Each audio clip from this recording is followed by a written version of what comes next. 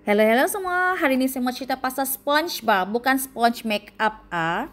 Saya mau tahu ba apa scrubber kamu guna sekarang. Saya mau share dulu ini Atomy scrubber yang kena cakap mahal tapi lepas guna dan cuba atau koi penjimatan in the world. Jom kita share dulu. It's not just a scrubber ya. It comes with benefit, absolute quality absolute price. This scrubber is 99.9 antibacterial because it was tested by UK Huntington Life Science. It has triple layer and every layer is antibacterial. First layer, filter foam, excellent cleaning with less possibility for scratch, great to remove remaining oil, easy quick dry for better hygiene. Second layer, polyurethane sponge, densely structured, creates rich lather and with great high durability. Features the inorganic antibacterial agent nanti kamu tengok dalam video ni, okay?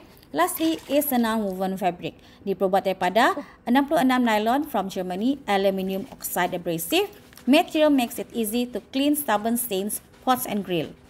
Paling penting, certified high safety and pass all tests such as reverse mutation, acute, oral toxicity and skin irritation. Paling banyak info dia ni, please visit Atomy website for more info ya.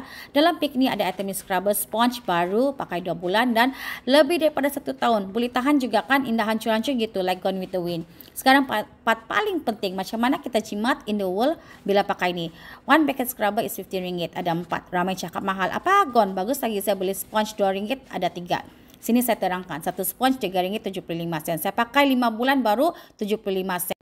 Plus ada kebaikan lagi. Kiranya satu paket tu berapalah lama mau pakai tu kan. Kalau beli yang RM2 tapi tiap bulan beli sama juga ulung dia kan. Scrubber ni sangat sesuai untuk rumah dan sesiapa yang perlukan. Kedai pun juga kio. Bah, saya tahu kesukaan sedang ni kan. Jangan lupa tukar ke Atomy Scrubber untuk penjimatan jangka masa panjang. Membership is free. Jangan takut. If you like this video, don't forget to like, share and follow.